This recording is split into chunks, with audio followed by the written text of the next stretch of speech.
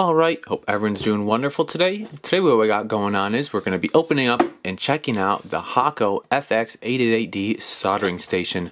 I've heard really good things about this brand, so I got one of their soldering irons because my other one bit the dust on a project I was working on. So we're going to open this up, check it out, test it out a little bit, and just see what the rave is. Uh, again, this is the Hakko FX888D soldering station. I believe it comes in two parts. I think like the power unit itself, and I think there's like the soldering iron holder as well. Kind of cool, like shadow art or whatever on the outside of it. I believe this is the power station. And I think there's like a digital display. Um, I did get the blue and yellow version. I guess there is a silver version as well. I didn't even know that, but that's pretty cool out there. Next thing is let's open it up and check it out. Alright, so let's go ahead and open it up. Again, this is the Hakko FX888D soldering station. The box is recyclable and uh, just says repackaged for shipping on it. It's got a little pull tab right here gonna lift it up. Right off the bat, we're greeted with a little instruction manual. Again, it shows you the parts. You get the actual iron itself, you get like the power station and like kind of the soldering iron holding station. I do like ones that have the holding station because it's always awkward where you want to put the iron once you're done using it. I've, I've used those standalone ones that are just the iron and it's always like where do I want to set it down without burning a hole in something. Uh, so it's cool, it comes with that little bit of information on it kind of tells you how to use it making changes to the setting changing temperatures. We'll check that out in a minute. Set that down here. We got the actual iron itself. It's all wrapped up.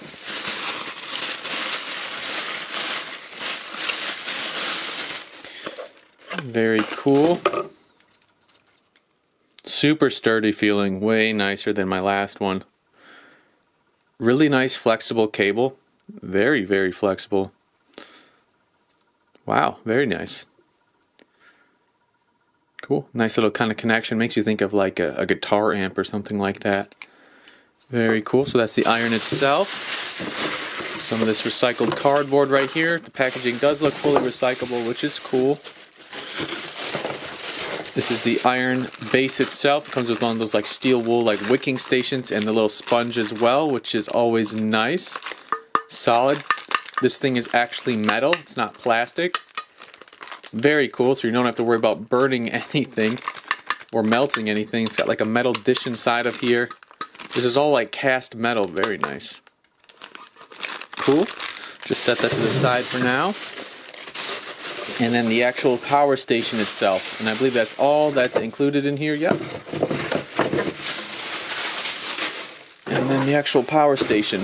This thing is pretty heavy for the size of it, honestly. I don't know what it is, maybe like five pounds or something like that. Got the cool little plug right there. You got the up and the enter button. I do remember looking at this. There is only two buttons on it. Uh, I think you have to change it like uh, holding one of them. We'll look at it in a minute. Little power switch on the side. The bottom of it, it's got the brand name on it. 120 volts. I got the 120 volt version, just like ground, regular kind of wall outlet power. Very cool just a plastic case. This isn't metal, even though uh, the holder is metal, but this doesn't really need to be metal. Just a solid plastic, very silky, smooth feeling. Got some little heat vents in it in case this thing heats up. Uh, but awesome. Little rubberized feet on the bottom. And it's a nice little compact size, to be honest. Little chunky guy. All right, next thing is let's uh, check it out a little bit more in depth. So out of the box, this is everything that it comes with. It comes with the actual like power station itself. Comes with the soldering iron holder fits in there perfect. Doesn't really feel like it's to fall out. Actually, it feels like I have to struggle to get it to fall out, which is a lovely relief. Very heavy base, so you don't have to worry about actually knocking it. You can see him actually kind of hitting it pretty hard, which is very nice. A uh, little sponge for like wiping off any solder, and I do like how the sponge has little slits in it and I believe those slits are for really getting the nozzle or the tip of it inside of there, which is cool. And obviously the sponge kind of just sits in this little place right here. You can go ahead and wet it. You obviously want to wet the sponge a little bit. You don't want to just burn the sponge. Uh, it also comes with this sort of, uh, I don't even know what they call it, cleaning wire. It's just like gold and steel wool. Kind of a cool color. And I believe this just gets shoved uh, inside of here. Yeah, just looks like inside of here. Just like that a delicious golden wire. And that's for just kind of wicking up any extra solder. It's like a sponge, will kind of suck it up. Very cool. Awesome. Nice little setup, honestly. Really like the base. I know, I'm pretty sure they sell the power units without the base, but I think the base is, uh, or the soldering iron uh, holder is really nice as well. Does this open up or anything? I don't think so. All right. Very cool. Let's just undo this little twisty tie right here. It doesn't come with any solder, so you will have to get your own solder. But that's kind of to be expected. But it is cool that it comes with the sponge and the little kind of steel wool pad or, or whatever that's called. The little cleaning wire. Just gonna undo this one right here.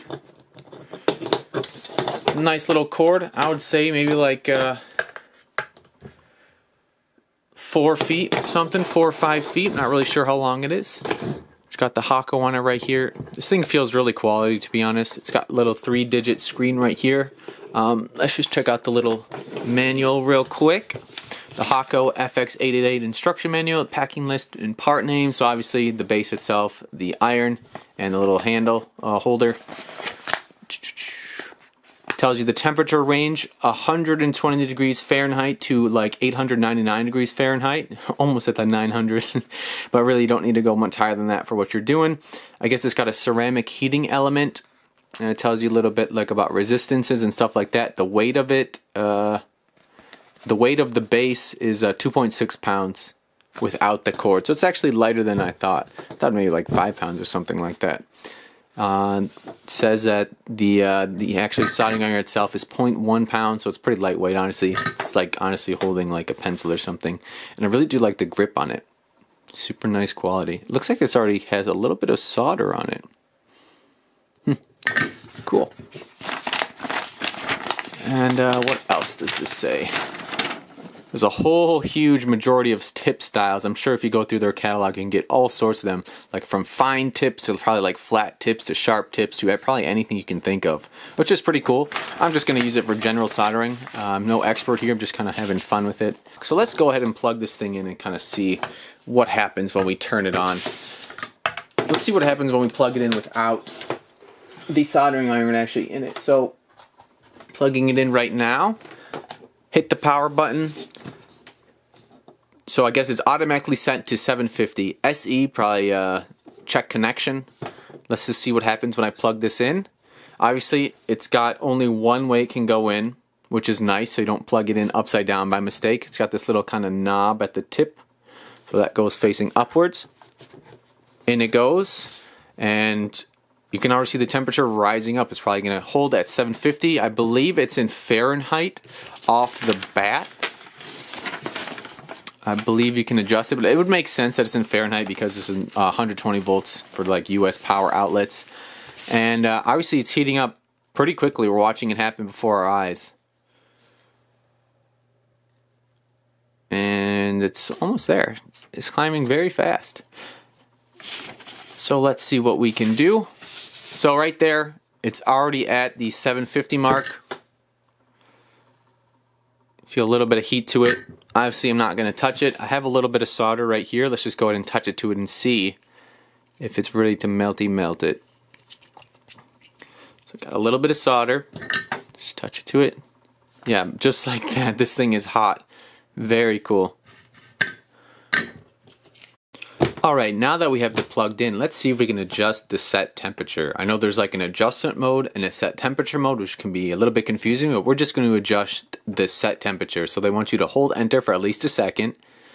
And then it's kind of like a an oven clock or a microwave clock. You set one digit at a time. So let's see if we can set it to 475. So I got 4, 7, 1, 2, 3, 4, 5, 4, 5. And it's going to then bring it down from 750, which is the default, all the way down to 475. And it honestly is probably going to take longer to cool down to the temperature than it would take from it to raise from that temperature to 750. So we're just going to watch it cool down as it reaches that temperature right there. So that's pretty much how you do the set temperature. Not too hard, nothing too crazy about that.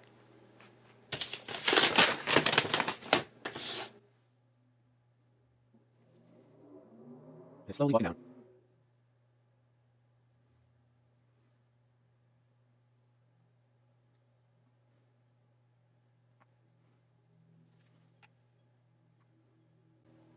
And there. 475 and this is in Fahrenheit right now. I believe you can set it to Celsius and Fahrenheit. We'll check that out in a little bit. But right now I'm gonna probably keep it at Fahrenheit just because uh, that's what I'm used to. The next thing let's see if we can mess with the adjustment mode. And the adjustment mode is something you're probably never gonna have to do unless you have a way to measure the temperature at the tip of this device right here.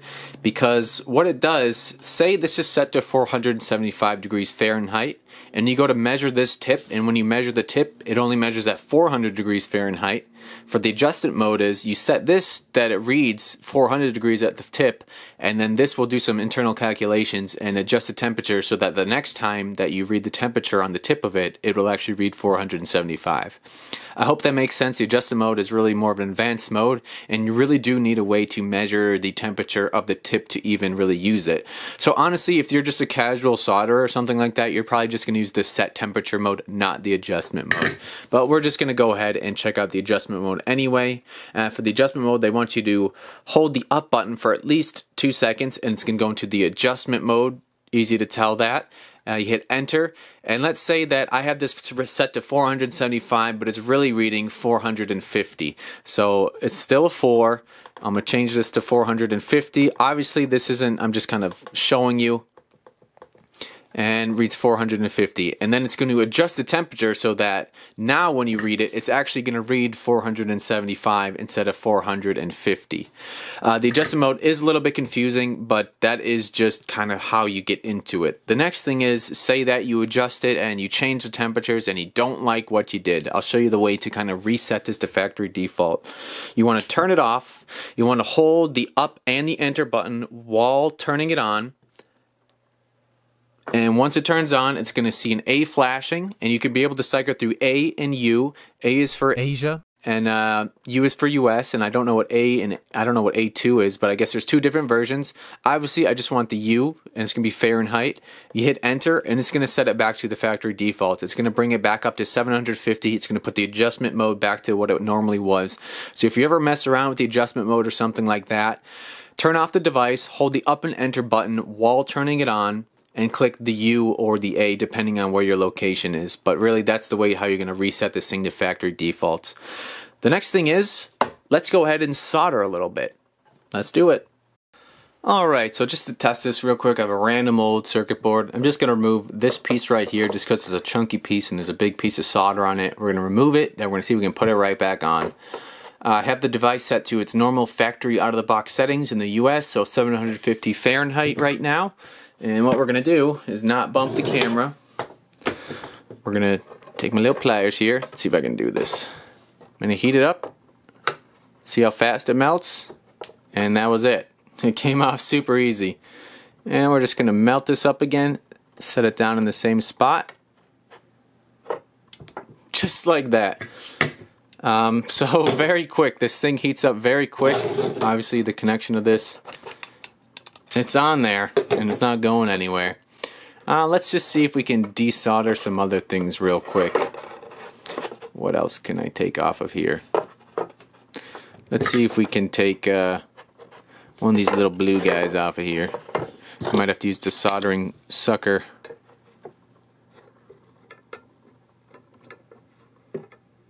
I need some like helping hands to keep this stuck down here.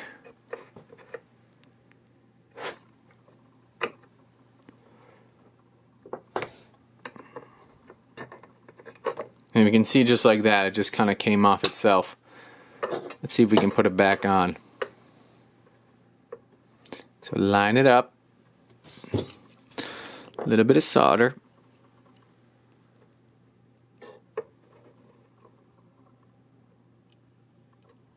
I need to line this up a little better.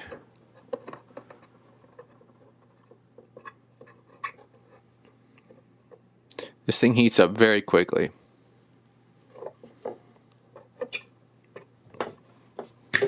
And just like that, super crude, but I put it right back on there.